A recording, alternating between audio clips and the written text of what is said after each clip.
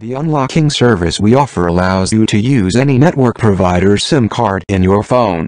Typically this involves unlock codes which are a series of numbers which can be entered into your mobile phone via the phone's keypad to remove the network restriction and allow the use of other SIM cards. Your phone will accept only its unique unlock code.